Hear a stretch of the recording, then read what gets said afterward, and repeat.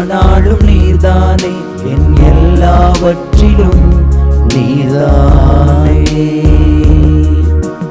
அனைத்திலும் உம் அன்பை தந்தி கிருபையா என்னை நடத்தி வந்தீ அனைத்திலும் உம் அன்பை தந்தீ கிருபையா நடத்தி வந்தீ நேசிப்பேன் என் இயேசுவே உமையே.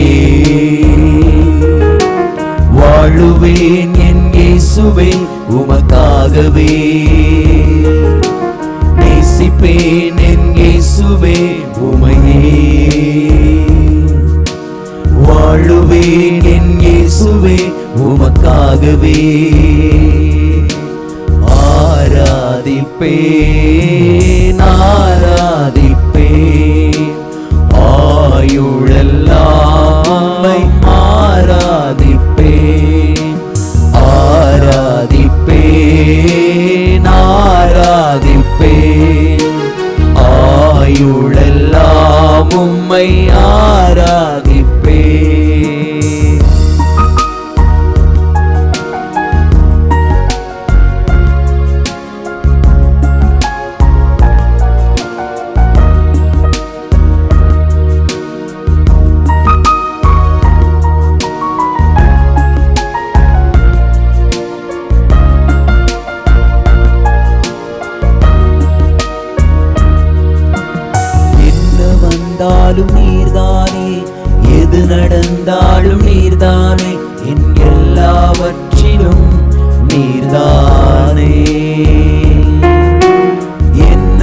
வந்தாலும் நீர்தானே? எது நடந்தாலும் நீர்தானே? என் எல்லாவற்றிலும் நீர்தானே. இம்மட்டும் என்னை கைவிடவில்லை. இனிமேலும் என்னை மறப்பவில்லை. இம்மட்டும் என்னை கைவிடவில்லை. மறப்பதில்லை.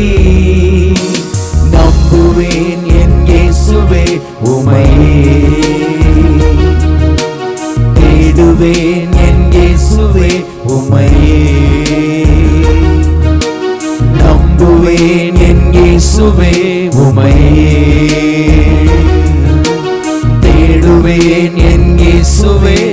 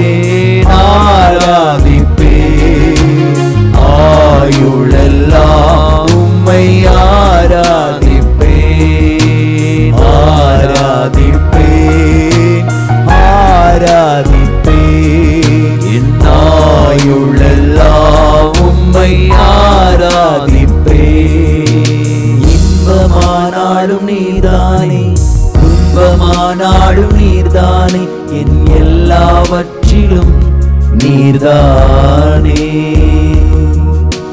இன்பமானாலும் நீர்தானே.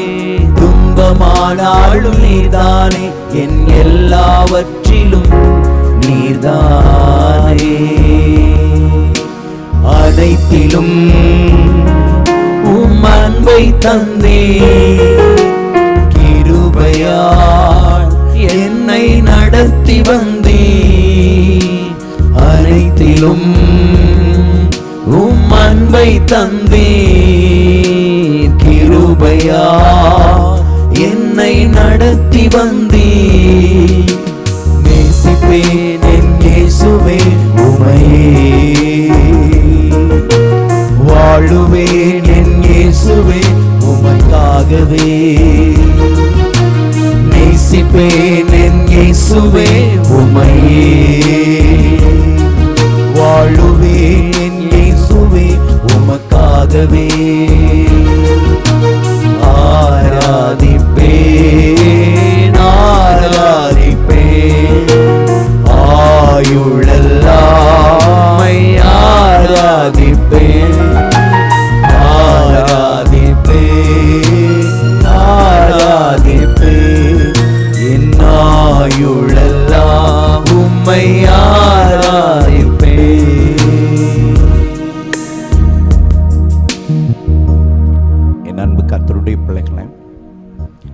மாதங்களை கடந்து இந்த பதினோராவது மாதத்திலே தேவனாகிய கர்த்தர் நம்மை கொண்டு வந்திருப்பது அவருடைய மேலான கிருபை.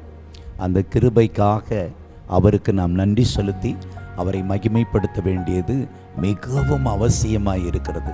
கத்தருடைய பிள்ளைகளை இந்த இரண்டாயிரத்தி இருபத்தி நான்காம் ஆண்டின் பத்து மாதங்கள் அவர் கண்மணி போல பாதுகாத்தார். இந்த பதினோராவது மாதத்தையும் அவரே காண பண்ணியிருக்கிறார். இருக்கிறார் இந்த நாளிலும் கூட நாம் இந்த தேவ வார்த்தையின் மூலமாய் தேவ பலனை பெற்றுக்கொள்ளப் போகிறோம். கர்த்தர் உங்களோடு கூட நிச்சயமாய் பேச போகிறார். கர்த்தருடைய பிள்ளைகளை இன்று இந்த நிகழ்ச்சியை பார்த்து கொண்டிருக்கிற உங்களோடு கூட கர்த்தர் பேச போகிறார். உங்கள் இருதயம் மகிழப் போகிறது.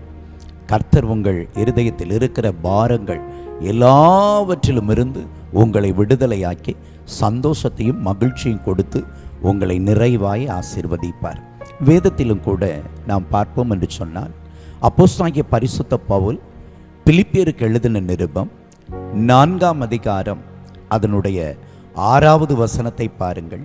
பிலிப்பியர் நான்காம் அதிகாரம் அதனுடைய ஆறாவது வசனத்தில் பிலிப்பு பட்டணத்தில் இருக்கிற கர்த்தருடைய பிள்ளைகளுக்கு திருச்சபையை சார்ந்த தேவ பிள்ளைகளுக்கு பவுல் ஆலோசனையாய் ஒரு காரியத்தை சொல்லுகிறார். நீங்கள் ஒன்றுக்கும் கவலைப்படாமல் எல்லாவற்றையும் குறித்து உங்கள் விண்ணப்பங்களை ஸ்தோத்திரத்தோடு கூடிய ஜெபத்தினாலும் வேண்டுதலினாலும் தேவனுக்கு தெரியப்படுத்துங்கள். கர்த்தருடைய பிள்ளைகளை பவுல் ஒரு நல்ல ஆலோசனையை கொடுக்கிறார். பிலிப்பு பட்டணத்தின் திருச்சபையின் பிள்ளைகளுக்கு அவர் கொடுக்கிற ஆலோசனை நீங்கள் ஒன்றுக்கும் கவலைப்படாதிருங்கள். எதை குறித்தும் நீங்கள் கவலைப்பட வேண்டாம்.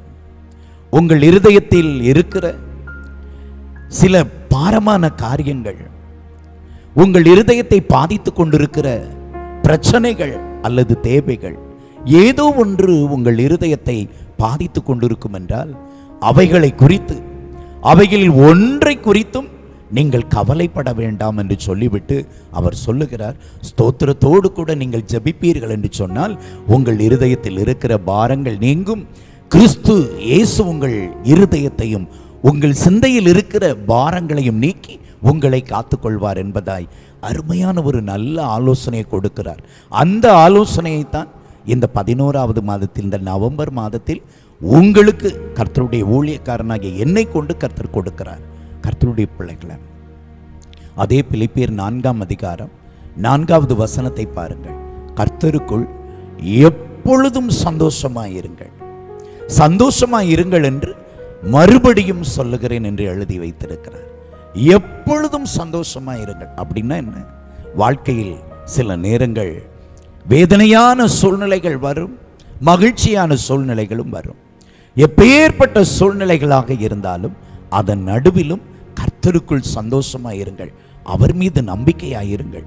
அவரையே பற்றி கொள்ளுங்கள் உங்கள் இருதயத்தில் இருக்கிற கவலைகள் எல்லாவற்றிலும் இருந்து உங்களை கர்த்தர் மீட்டு எடுப்பார்.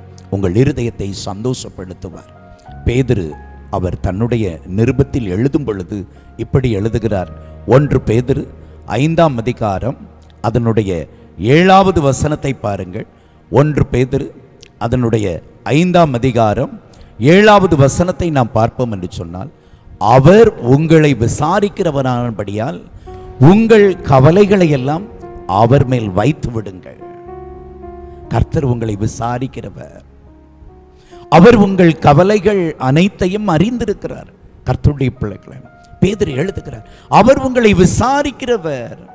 உங்கள் பிரச்சனைகள் உங்கள் போராட்டங்கள் உங்கள் தேவைகள் உங்கள் வாழ்க்கையில் இருக்கிற நெருக்கடிகள் எல்லாவற்றிற்கும் அவரிடத்தில் சத்துவமும் வல்லமையும் இருக்கிறது. அவைகளிலிருந்து உங்களை ரட்சிப்பார். உங்களுக்கு உதவி செய்வார். உங்கள் வாழ்க்கையில் அற்புதங்களை செய்வார்.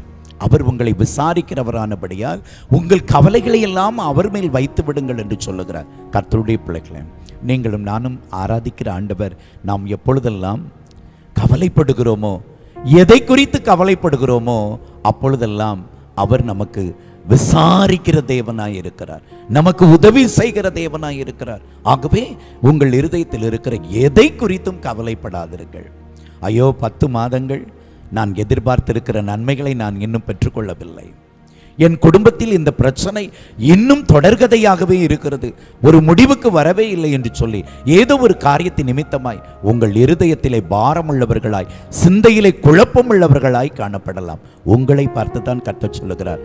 நீங்கள் ஒன்றுக்கும் கவலைப்படாதிருங்கள்.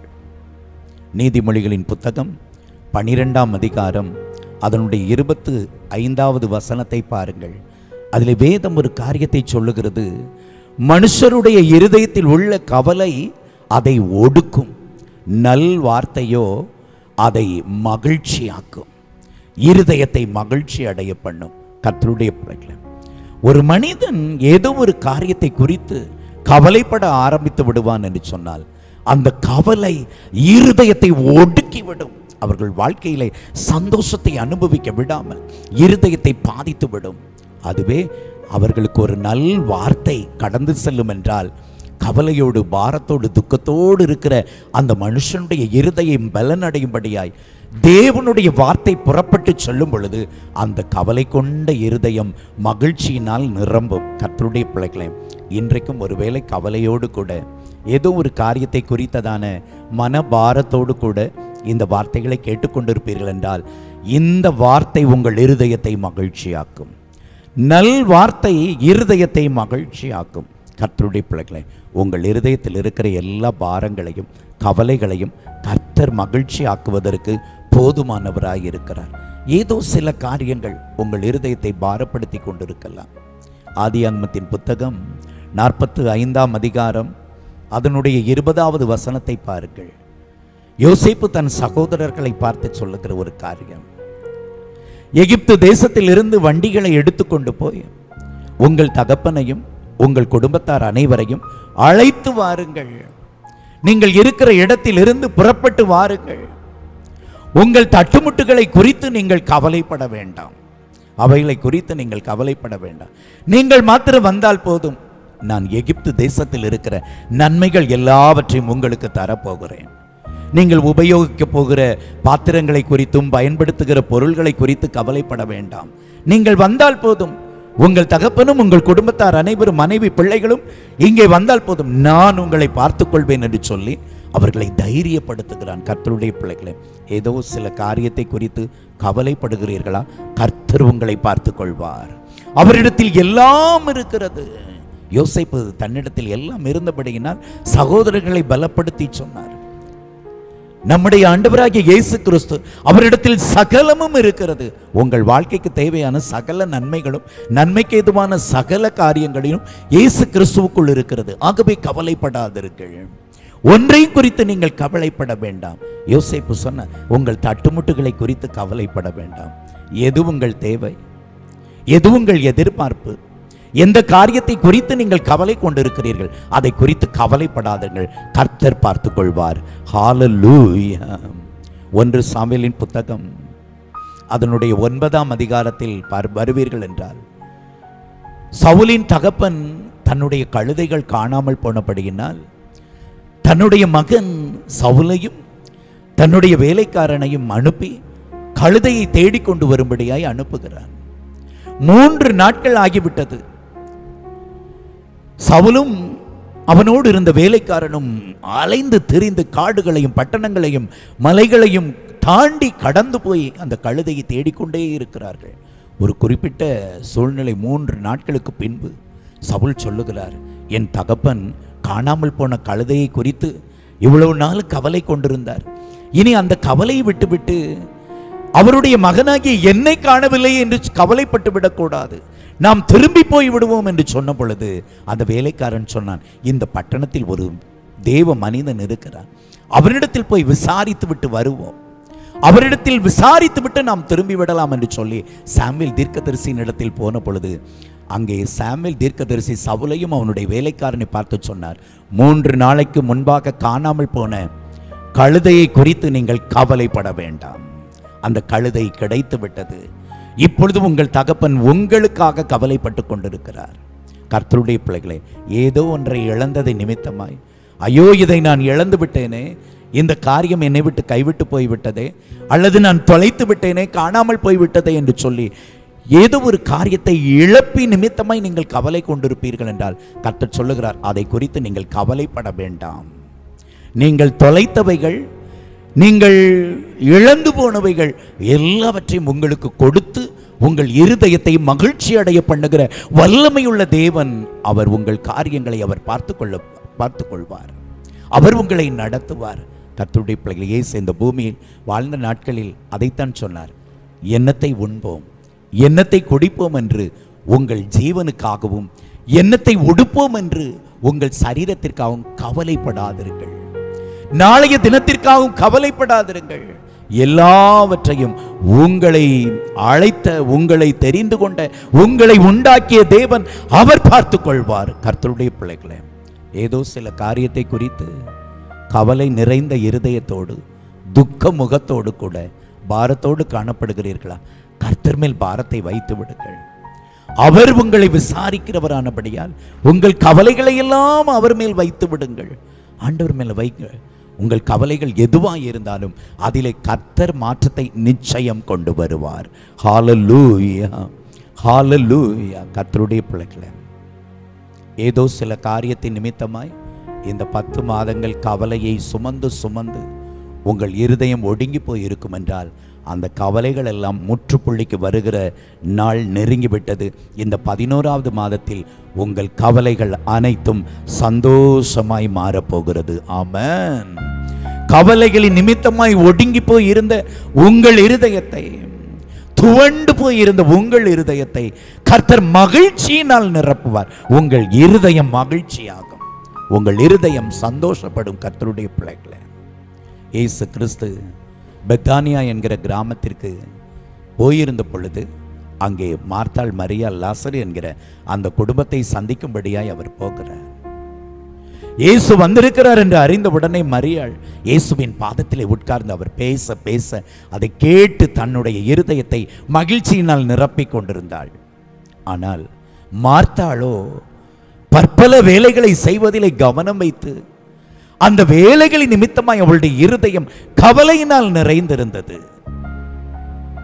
ஒரு முறை அவள் மரியாளை பார்த்து அவள் இயேசுவின் பாதத்தில் உட்கார்ந்து அவருடைய வார்த்தைகளை கேட்டுக்கொண்டிருக்கிறதை பார்த்து அவளால் பொறுத்து கொள்ள முடியாமல் இயேசுவை பார்த்து கேட்கிறாள்.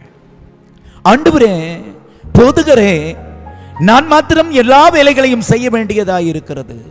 என்னால் இத்தனை வேலைகளையும் செய்து முடிக்க முடியவில்லை. என் சகோதரியை என்னோடு கூட வேலை செய்யும்படியாய் நீர் கட்டளையிட வேண்டும். கர்த்தருடைய பிள்ளைகளை மார்த்தாளை பார்த்து இயேசு சொன்னார் மார்த்தாளே நீ அநேகம் காரியத்தை குறித்து கவலைப்படுகிறாய். நீ அநேகம் காரியத்தை குறித்து கவலைப்படுகிறாய். ஆனால் மரியாளோ அவள் தன் இருதயத்தை வார்த்தையினால் மகிழ்ச்சியடைய பண்ணி கொண்டிருக்கிறாள் கர்த்தருடைய பிள்ளைகளை தேவனுடைய வார்த்தை ஒரு மனிதனுடைய இருதயத்திற்குள் புறப்பட்டு செல்லும் பொழுது அந்த இருதயம் எவ்வளவு பெரிய கவலையை சுமந்த இருதயமாக இருந்தாலும் மகிழ்ச்சியினால் நிரப்பப்பட்டு விடும். மகிழ்ச்சியினால் நிரப்பப்பட்டு விடும். மர்த்தாளை பார்த்து மர்த்தாளை நீ அநேக காரியங்களை குறித்து கவலைப்படுகிறாய். இன்றைக்கும் என் வார்த்தை கேட்டுக்கொண்டிருக்கிற தகப்பனே தாயே சகோதரனே சகோதரியே என் அருமை வாலிப பிள்ளைகளே நீங்கள் யாராக இருந்தாலும் சரி ஒருவேளை அநேக காரியங்களை குறித்து நீங்கள் கவலைப்பட்டு கொண்டிருக்கிறீர்களா?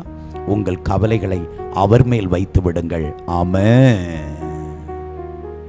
பிலிப்பியருக்கு பவுல் எழுதும் பொழுது ஆகவே தான் அவர் தெள்ள தெளிவாய் அழுத்தமாய் சொல்லுகிறார் நீங்கள் ஒன்றுக்கும் கவலைப்படாமல் ஒன்றுக்கும் கவலைப்படாதீர்கள். எல்லாம் அவர் பார்த்துக் கொள்வார். எதை குறித்தும் கவலைப்படாதீர்கள்.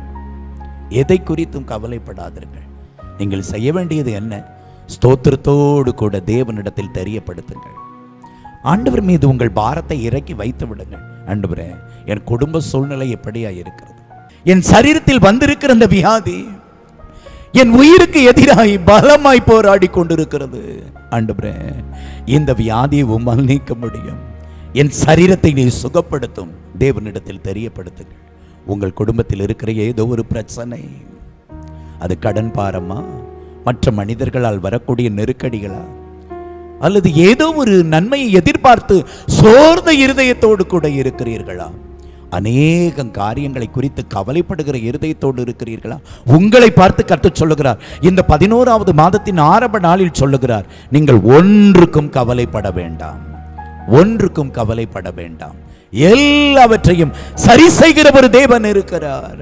எல்லாவற்றையும் ஜெயமாய் மாற்றுகிற தேவன் ஒருவர் இருக்கிறார். எல்லா தீமைகளையும் நன்மையாய் முடிய பண்ணுகிற இயேசு நம்மோடு கூட இருக்கிறார். விசுவாசிக்கிறீங்களா?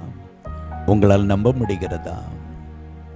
கத்தருடைய பிள்ளைகளே லாசருவின் மரணம் ஒரு பெருங்கவலையை மார்த்தாளுக்கும் மரியாளுக்கும் உண்டாக்கியது. ஆனால் அந்த பெருங்கவலை கிறிஸ்துவினிடத்தில் கொண்டு போகப்பட்ட பொழுது மகிழ்ச்சியில் முடிந்தது.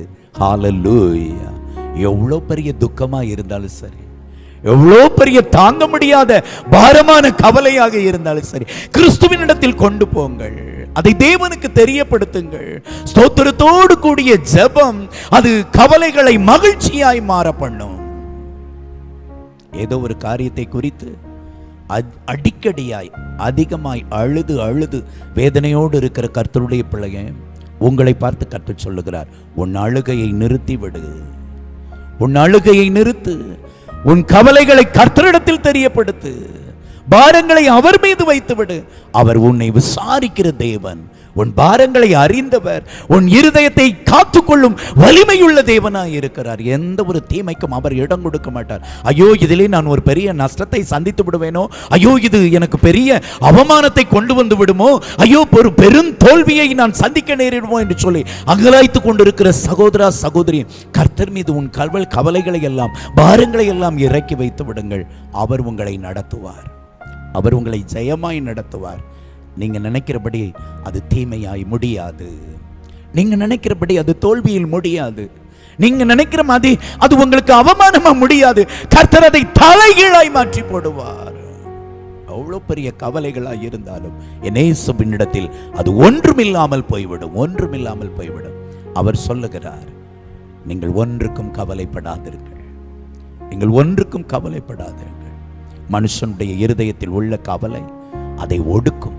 நல் வார்த்தையோ அதை மகிழ்ச்சியாக்கும் கத்தருடைய பிள்ளைகள். இப்பொழுது நீங்கள் கேட்டிருக்கிற இந்த வார்த்தை கிறிஸ்துவின் வல்லமை அவருடைய ஜீவனுள்ள வார்த்தை உங்கள் இருதயத்தை மகிழ்ச்சியாக்கும். நம்புறீங்களா? விசுவாசிக்கிறீங்களா? இந்த நவம்பர் மாதத்துல என் கவலைகளை எல்லாம் கர்த்தர் மாற்றப் போகிறார். என் இருதயத்தில் இருக்கிற பாரமெல்லாம் மாறப் போகிறது. நான் எதிர்பார்த்திருக்கிற அந்த மகிழ்ச்சியின் நாட்களை நான் பார்க்க போகிறேன். நான் அதை சந்திக்க போகிறேன் அனுபவிக்க போகிறேன் என்கிற ஒரு நம்பிக்கையோடு கூட என்னோடு இணைந்து ஜெபிப்பீர்களா? முடிந்தால் முழங்கால் படியிட்டுக் கொள்ளுங்கள். கத்தரை நோக்கி உங்கள் வலது கரத்தை உயர்த்துவீங்களா? ஆண்டவரை பார்த்து சொல்லுங்க ஆண்டவரே. இன்பமானாலும் துன்பமானாலும் நீங்க தான் எல்லா சூழ்நிலைகளிலும் நான் உண்மையே சார்ந்து நிற்பேன் ஆண்டவரே. என் தேவைகள் எல்லாவற்றையும் நீர் பார்த்துக் கொள்வேன் என் கண்ணீரை கழிப்பாய் மாற பண்ணுவீர் ஆண்டவரே. என் இருதயத்தின் பாரங்கள் அனைத்தையும் என்னை விட்டு எடுத்து போடுவீர் ஆண்டவரே. மகிழ்ச்சியின் நாட்களை என்னை அனுபவிக்க பண்ணுவீர் ஆண்டவரை. நான் விசுவாசிக்கிறேன். நான் நம்புறேன்பா இன்பமானாலும் நீர்தானே. துன்பமானாலும் நீர்தானே. என் எல்லாவற்றிலும் நீர்தானே. இன்பமானாலும் நீர்தானே துன்பமானாலும் நீர்தானே என் எல்லாவற்றிலும் நீர்தானே. அனைத்திலும் உம் அன்பை தந்தி கிருபையா என்னை நடத்தி வந்தே அனைத்திலும் உம் அன்பை தந்தே கிருபையா என்னை நடத்தி வந்தே நேசிப்பேன் என் இயேசுவே உமையே. வாழுவேன் என் இயேசுவே உமக்காகவே. நேசிப்பேன் என் இயேசுவே உமையே. வாழுவேன் என் இயேசுவே உமக்காகவே. ஆராதிப்பே ஆராதிப்பே ஆயுளெல்லாம் உம்மை ஆராதிப்பே ஆராதி ஆராதிப்பேன் ஆராதிப்பேன். ஆயுளெல்லாம் உம்மை என்ன வந்தாலும் நீர்தானே? எது நடந்தாலும் நீர்தானே? என் எல்லாவற்றிலும் நீர்தானே. என்ன வந்தாலும் நீர்தானே? எது நடந்தாலும் நீர்தானே? என் எல்லாவற்றிலும் நீர்தானே. மட்டும் என்னை கைவிடவில்லை. இனிமேலும் என்னை மறப்பதில்லை. இம்மட்டும் என்னை கைவிடவில்லை.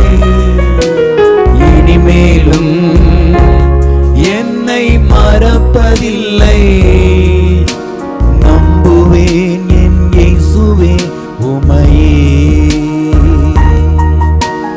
தேடுவேன் என் இயேசுவே உமையே. நம்புவேன் என் இயேசுவே உமையே. தேடுவேன் என் இயேசுவே உமையே.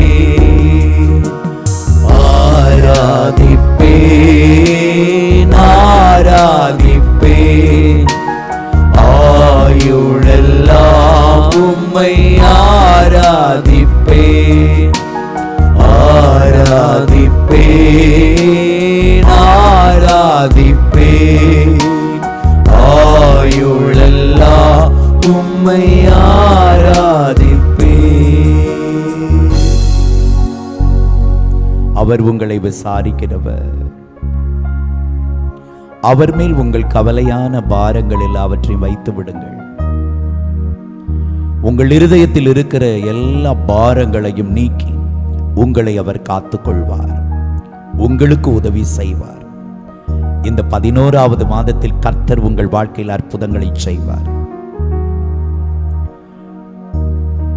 கவலையினால் ஒடுங்கி இருக்கிற உங்கள் இருதயத்தை இயேசு மகிழ்ச்சியாக்குவார். சந்தோஷத்தினால் நிரப்புவார். தேவையை குறித்தோ பிரச்சனைகளை குறித்தோ வியாதியை குறித்தோ கடன் பாரத்தை குறித்தோ மனிதர்களால் வரக்கூடிய நெருக்கடிகளை குறித்தோ பொல்லாத பிசாசினால் வரக்கூடிய தீமையான காரியங்களை குறித்தோ கர்த்தருடைய பிள்ளைய பாரத்தோடு ஒடுங்கிய இருதயத்தோடு அழுகையோடு தேவ சமூகத்தில் நிற்கிற உன்னை அவர் விசாரித்துக் கொண்டிருக்கிறார். உங்கள் காரியம் மாறுதலாய் முடியும். கர்த்தர் மீது நம்பிக்கை வையுங்கள். அவர் மாற்றங்களை உண்டாக்குவார். உங்கள் இருதயத்தை மகிழ்ச்சியாக்குவார். தகப்பனே இந்த பதினோராவது மாதத்தின் இந்த ஆரம்ப நாளில் இந்த வார்த்தை கொண்டு உம்முடைய பிள்ளைகளை நீர் பலப்படுத்தி இருக்கிறபடியினால் ஸ்தோத்திரம். எந்த காரியத்தின் மூலமாய் இவர்கள் இருதயம் ஒடுங்கி போய் இருக்கிறதோ அந்த ஒடுக்கங்கள் எல்லாம் மாறி போகட்டும் ஆண்டவரே. நல் வார்த்தையோ அதை மகிழ்ச்சியாக்கும் என்று சொன்னீரே. உம்முடைய வார்த்தையை நான் சொல்லி இருக்கிறேன் ஆண்டவரே. இந்த வார்த்தை இவர்கள் இருதயத்தை மகிழ்ச்சியாக்கட்டும் ஆண்டவரே. இவர்கள் குடும்பத்தில் இருக்கிற எல்லா சூழ்நிலைகளும் தலைகீழாய் மாறட்டும் தீமைகள் நன்மையாய் மாறட்டும் அற்புதங்கள் நடக்கட்டும் ஆண்டவரே. நீர் அப்படி செய்ய போகிறபடியால் மக்கு ஸ்தோத்திரம். எல்லா துதியும் கனமும் மகிமையும் உமக்கே சொந்தமாக்குகிறோம். ரட்சகர் இயேசுவின் நாமத்தில் ஜெபம் கேளும். ஜீவனுள்ள நல்ல பிதாவே. ஆமேன் ஆமேன். என் அன்பு கர்த்தருடைய பிள்ளைகளை உங்கள் கவலைகளை எல்லாம் அவர் மேல் வைத்து விடுங்கள். ஒன்றுக்கும் கவலைப்படாதிருங்கள். எல்லாவற்றையும் ஜெயமாய் அவர் மாற்றுவார். இந்த பதினோராவது மாதம் உங்கள் இருதயத்தை கர்த்தர் மகிழ்ச்சியாக்கும் ஒரு சந்தோஷத்தின் மன நிறைவின் மாதமாய் கர்த்தர் மாற்றுவாராக. காட் பிளஸ் யூ கர்த்தர் உங்களை ஆசிர்வதிப்பாராக. ஆமேன் ஆமேன் தொடர்பு கொள்ள வேண்டிய எங்கள் முகவரி பாஸ்டர் டி இன்பகுமார் இயேசுவின் பிரசன்னம் ஊழியங்கள் கர்மேல் பர்வதம் பேய்க்குளம் தூத்துக்குடி மாவட்டம் தமிழ்நாடு இந்தியா. பின்கோட் ஆறு இரண்டு எட்டு ஆறு ஒன்று மூன்று. அலைபேசி எண்கள் ஒன்பது நான்கு எட்டு ஆறு மூன்று ஏழு மூன்று ஆறு பூஜ்ஜியம் மூன்று. மற்றும் ஏழு மூன்று ஏழு மூன்று ஒன்று மூன்று மூன்று ஒன்று ஒன்பது பூஜ்ஜியம். Our contact address Pastor T. Inbakumar, Presence of Jesus Ministries, Karmel Mount, Paykulam, Tuticorin District, Tamil Nadu, India. Pin code 628613. Mobile number 9486373603 and 73731 33190. வாரந்தோறும் வெள்ளிக்கிழமை காலை பத்து மணி முதல் ஒரு மணி வரை பரிசுத்த உபவாச ஜெபம் நடைபெறும். வாரந்தோறும் ஞாயிற்றுக்கிழமை காலை ஒன்பது முப்பது மணி முதல் பனிரெண்டு மணி வரை பரிசுத்த ஆராதனை நடைபெறும்.